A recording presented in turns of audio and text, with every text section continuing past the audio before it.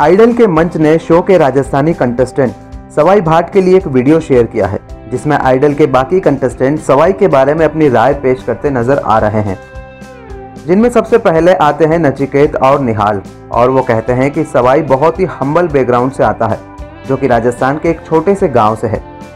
जहाँ अगर तुम ठीक से काम नहीं करोगे तो खाना भी नहीं खा सकते हो। इसके बाद साइली का कहना था कि सवाई बहुत ही सिंपल लड़का है, ना किसी से बात करता है अधिकतर चुप चुप ही रहता है और बस उसके हारमोनियम के साथ लगा रहता है।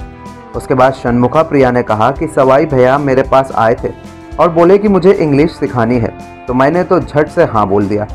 फिर उन्हें बेसिक इंग्लिश से स्टार्ट किया और सिखाया, और वो कुछ कुछ सीखने भी लगे हैं। कुल मिलाकर सभी का कहने का निचोड़ इतना ही है कि सवाई ने जहाँ से शुरू किया था, आज वो उससे बहुत आगे निकल चुके हैं। डे बाय डे उनमें ग्रोथ हो रही है और सूफी ही नहीं, और कई तरह के गाने ट्राई करने लगे हैं।